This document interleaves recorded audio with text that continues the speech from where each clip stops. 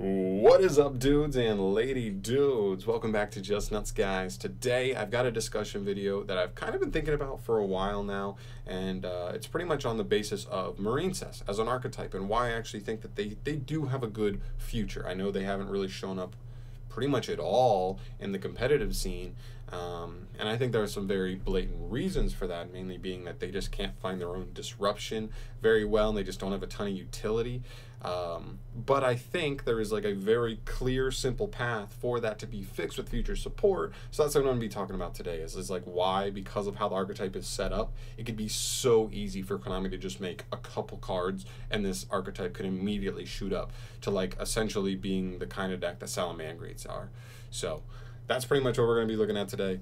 Um, I don't know. The reason why I think this would happen, first off, is uh, just for the fact that, like, one, this is played by one of the most popular characters in Link Vrains, uh, and, like, I guess, I mean, I didn't watch Link Vrains, but I believe it's, like, what, what who a lot of people consider to be, like, the best girl from Link Vrains, most popular girl, most, uh, I don't know, relevant girl in all of Link Vrains, I guess. It's a cute girl archetype. It's water. Uh, a lot of people like those things in conjunction.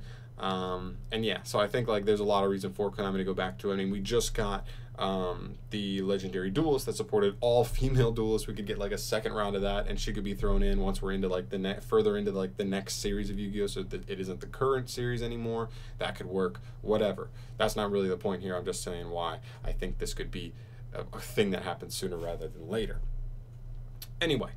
Um, going to why I think this deck has like such a good future, okay? There's a couple of things, particularly looking at some of the cards. Before we get into like what cards like I think like set the archetype up in such a good way, um, in terms of like the future like card design and stuff like that, I just want to talk about what I'm expecting. Like what the clearest path is. The clearest path is one to two traps, preferably two new traps that actually do something. I know we have Wave, and Wave is great. I actually think Wave is actually a really good card, uh, but literally none of the other traps do anything. They're so bad. So bad. Okay? We need more disruption. The deck just doesn't get to its own disruption because it doesn't search for things. But if you just if we're able to just play more copies of things, that is another way to make it work. It won't be the best thing in the world, you know, without legit searching, but at least if you're seeing those things, uh, the deck can just rotate resources insanely well. So that's like what what you want to take advantage of there. So that's what I'm expecting there. And also one to two spells. They could be anything. Honestly, if these spells are just good in any way, I'll take it. Um, because we just have a free spell search that we'll get to in a little bit. Um, and then I guess maybe one extra deck monster that actually is more offensive. So many of the card, all of the, all of the like in archetype uh, link monsters they they're great for resource management but they don't really do anything to be like offensive and like go after your opponent remove their resources do anything. That guy doesn't really have any removal and that's one of the biggest downfalls of it. So without further ado let's get into some of these cards that i think set this deck up immensely this deck has a rota like the first card is like so simple. This deck has its own rota, uh, as all Cyberse decks do. And I know what you're saying, John. This, this, this discards like it's not actually rota. Yeah, but this this archetype is so resource efficient, and all of its like so many cards in its in its archetype just like kind of come back from the graveyard for free. That like the discard is so unconsequential. It really is. So, um, Cynet Mining. I mean, it, it's great. I mean, the deck has one card combo, so Cynet Mining is amazing. Next up, okay, we're going to get into the real Marincess cards. First up is Blue Tang. This is a really, really good card, um, just in general. First things first, on summon, it dumps any Marincess monster. They already have some that have synergy in the graveyard, so that's already a great setup there. Secondly, the more important thing is when it's used as link material for a water monster, it lets you pretty much do like a Foxy effect or a Area Zero effect, where you get to look at the top three cards of your deck by excavating them, and then if there's any Marincess cards, you can pick one and add it to your hand. Now, the reason this is so important is, like I said before, this deck doesn't search, but it has other ways of like semi-searching, right? So we only have one legit trap in the deck that actually is like in archetype disruption. If we had one or even two other traps that were actually decent and they were like worth playing at three, this card's chances of actually hitting an in archetype disruption skyrocket. Absolutely skyrocket. I believe with like three, most of the time you're at like I don't know, like a one in three chance of hitting wave, if that, and like that's not great. Like you we need way better chances than that. So like imagine if that number was nine cards in the deck instead of three, right? Like that goes through the roof. Same thing if we got good spells. Like it's not just those three, but you can tack on any of these good spells that you'd be like wanting to be hitting as well. So I think that would be great. I think this is one of the main cards that like would would support like any card that gets added to the archetype because it adds anything if you can excavate it. So that's pretty good.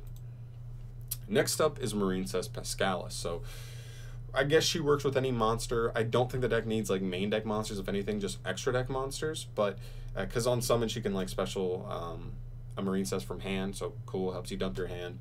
The main thing though is in when she's in the graveyard, except the turn she was sent there, she can banish herself to target a Marincess spell or trap engrave and add it back to your hand. And this is one of those things that's just like this is the kind of recursion that this deck can have. It's just like, oh, you wave them, great, we'll just get wave back and we'll just wave them again.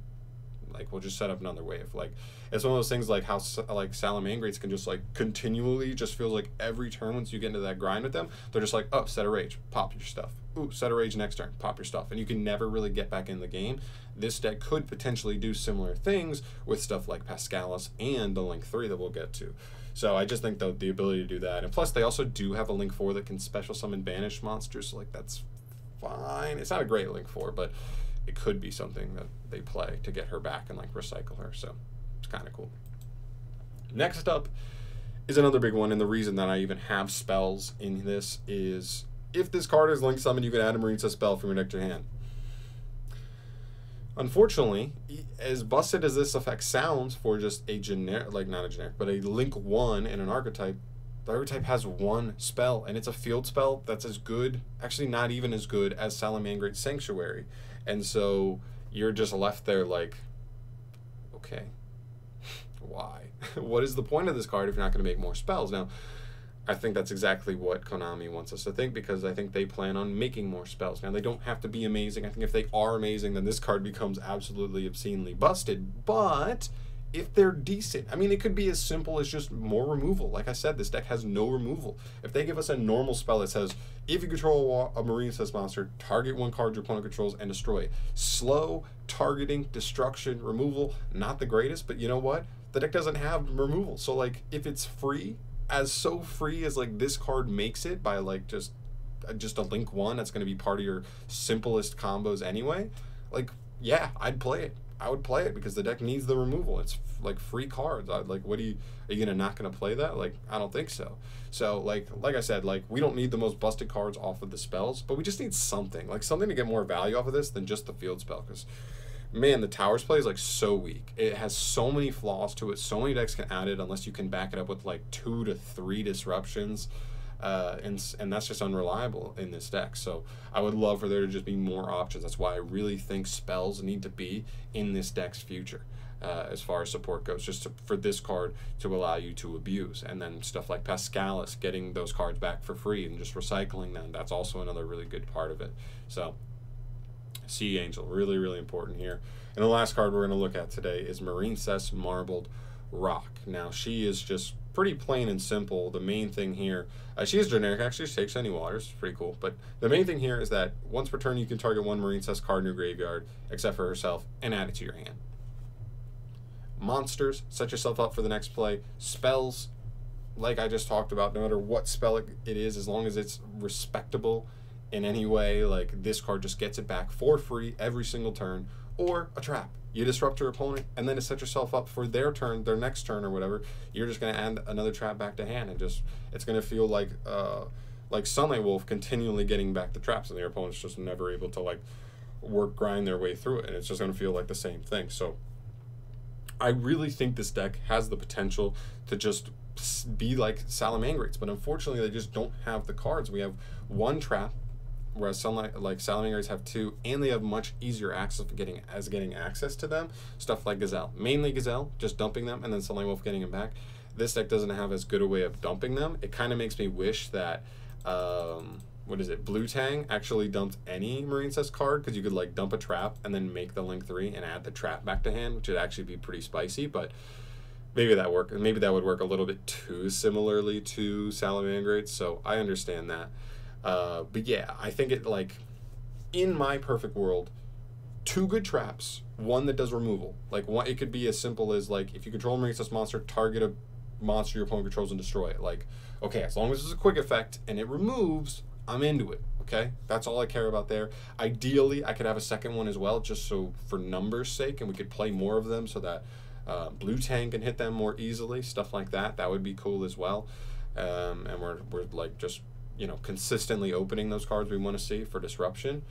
Um, ideally, two different spells. Neither of them need to be insanely good. Like I said before, if one was just like maybe like mediocre slow removal, and the other one was just anything. Like literally, I don't even know exactly what I would want from it, but like something. Ugh, like I'm, I don't know, make an extender, like a Monster Reborn, like a simple Marincess Monster Reborn. That could work too. Um, and then the last thing is it's like an extra monster that does something like similar to Heat Leo, just because like uh, like Salamangreats have Heatleo, and that he's like such a nice piece for them because he helps you remove like so like multiple cards on your opponent in the same turn. And this deck's biggest biggest weakness is removal. Salamangreats aren't even amazing at removal in my opinion, but Heat Leo is a huge part of it, especially without Mirage Stallio. But yeah, Heat Leo just says like one back row, potentially two back row, and you make one of their monsters like so easy to run over. So it's like essentially three cards. So I would love to get some kind of utility link monster like that.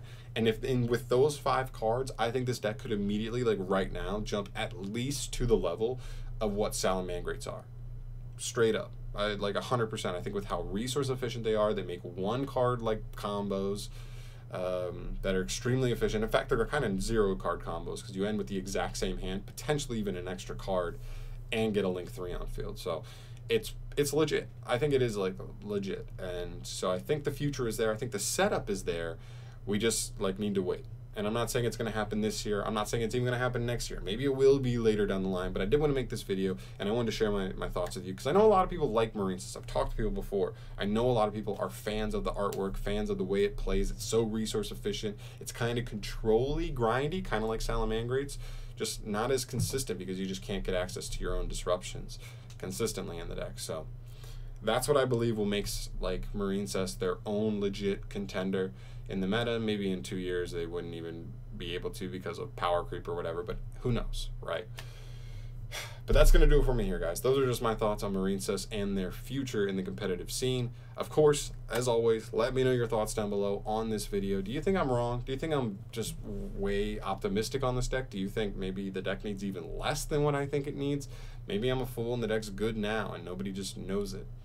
Let me know what you think down below. Of course, subscribe if you have not yet, and I will see you in the next video. Peace.